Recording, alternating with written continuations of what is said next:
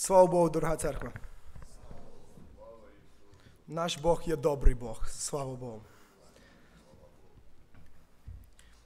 I want to ask us a really interesting question this morning. Я хочу спросить очень интересный вопрос сегодня. What is prayer for you? А что обоз- обозначает молитва для вас? How do you pray? А Как вы молитесь? Why do you pray? Почему молитесь? What does the word prayer even mean? Что обозначает слово молитва? Prayer is a heart-filled conversation. А, э, с- э, Молитва это сердечный, сердечный диалог. It's like an expression. Это выражение. It's it's asking God, asking the creator. Это прошение, это прошение Творца. Or, or it could be a prayer of thanksgiving, Или это может быть просто молитва благодарности, an expression of joy. выражение радости. Prayer is a conversation, Молитва это диалог, but not with people, но не с людьми, but with God. но с Богом. Praise God. Слава Богу. Why do we have prayer? Почему мы имеем молитву? You know, in order to have a relationship with God, Чтобы иметь отношения с Богом, to have a relationship with each other, иметь отношения друг с другом, husband, wife, friends, муж с женой, друзьями, siblings, а, с- а, с- братья, Братьями и сестры, сестрами. you have to be in conversation with each other. надо иметь диалог, You have to talk with each other, communication. надо говорить друг другу, You know, communication is the most important thing in this world. надо иметь вот эту связь, You need коммуникацию. to be able to communicate with each other.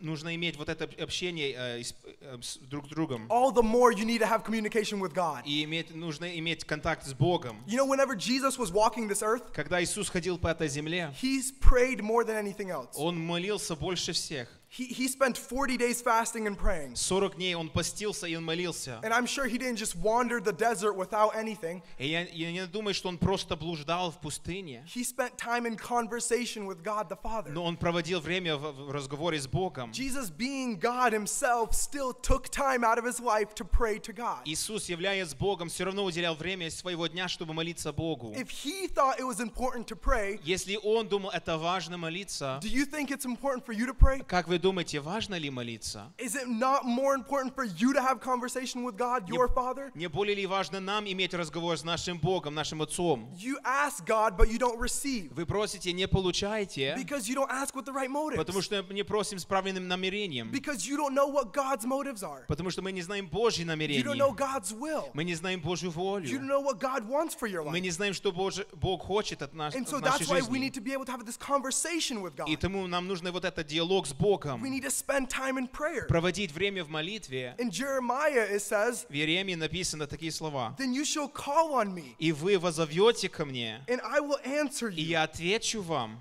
and I will give you И- more than what you can imagine. и я дам больше, чего вы можете представить».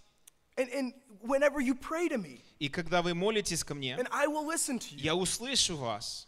See, God says, just ask and you shall receive. Бог говорит, «Про- просите, и вам дано будет. And what's interesting А что интересно, is we hear this Bible verse from Matthew, ask and you shall receive, мы слышим вот этот стих из Матфея, просите, и дано будет вам, seek and you shall find, ищите, и найдете, knock and the door will be open. стучите, и отворят We вам. hear it so much, Мы так и часто слышим we это. don't even know what it means anymore. Мы даже забыли, что это значит. We don't understand the power of prayer. И мы не понимаем силу We молитвы. don't understand how important it is to just ask. И мы не понимаем, как важно просто просить. Ask with faith, Просить с верой. and it will be given to И you. надано будет нам. You know, we brush over this verse so much Мы просто проходим поверхностно этот стих. that, like, does this verse actually mean that I'm going to ask and receive? И мы с- спрашиваем, а этот стих значит, что я буду получать, если я буду просить? The Bible says that God, being good, will give to his А children. Библия говорит, что Бог есть благой, и Он даст детям своим. And all it takes is faith. И все, что требуется, это вера. You know, the Bible is God's word. Библия — это Божье Слово. It's inspired by Это God. вдохновлено Богом. It's, it's, it's a double-edged sword. Это дв- дв- обоюдоострый меч. If God wrote the Bible, Если Бог написал Библию, why would he put in a verse that doesn't make sense? почему бы Он ставил стих, который, ну, смысла не имеет? Why would he put in a verse that doesn't work? Почему бы Он ставил стих, который не работает? Asking and receiving. Просите, и будет дано It вам. doesn't say anything else over there. Другое не написано там. It just says, ask and you shall receive. Просто написано, просите, и вам дано будет. If the Bible is God's word, Если Библия — это Божье Слово, how many times we read in the Old T- Testament? сколько раз читаем в Ветхом Завете, Whenever God said,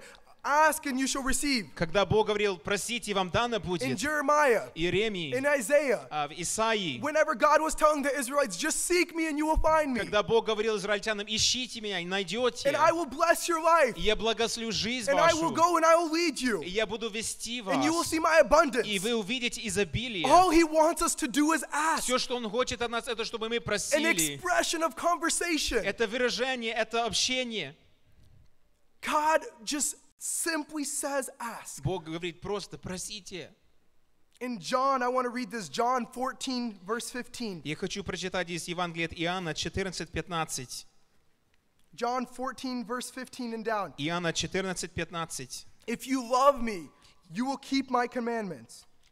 Если любите меня, соблюдите мои заповеди, And I will pray to the Father, и я умолю Отца, and he will give you another helper, и даст вам другого утешителя, the Spirit of truth, у- э, Дух истины, whom the world cannot receive, которого мир не может принять, because it neither sees him or knows him. потому что не видит его и не знает его. But you know him, А вы знаете его, for he dwells in you. ибо он с вами пребывает. I will not leave you as orphans, Не оставлю вас сиротами, I will come to you. приду к вам. This is beautiful Это прекрасно, because now we don't only have prayer, потому что мы не только теперь имеем молитву, but now we also have the Holy но Spirit. теперь имеем Духа Святого. As Jesus was ascending into heaven, К- Когда Иисус восходил на небо, people were heartbroken. люди, они разочарованы, разрывалось Their сердце. master, their Lord, their Savior, Наставник, Господин, Спаситель, he was leaving them. Он уходил. And they were